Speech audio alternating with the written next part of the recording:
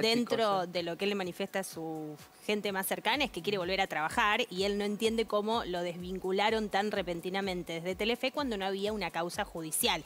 Lo que se sabe y lo que se vio es que acá hay una condena moral y está, bueno, la discusión eh, precisamente de, de lo que tiene que ver con si estuvo bien o mal lo que hizo al salir con una persona más chica que él. Pero él lo que dice es que se quedó sin trabajo a nivel televisivo cuando él no tiene ninguna causa penal y por eso quiere demandar. Bueno, y luego después de las declaraciones de Georgina acá, que, dijo esto de que estaba muy soberbio, a los dos días en otra nota se desdijo y dijo Georgina que, bueno, que él se había mandado un moco y que, que había que apoyarlo porque él quería volver a trabajar.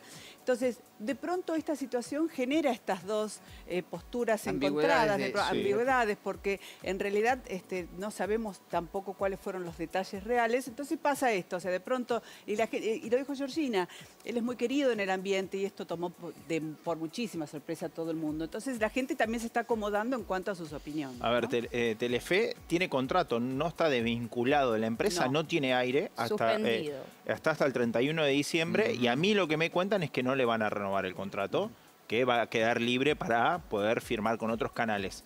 Ese es el tema, digamos, él sigue percibiendo su arancel como conductor Sí, de sí, Telefe, bueno. como figura Sí, de Telefe, de acá hasta el 31 de diciembre y el 31 de diciembre va a quedar liberado.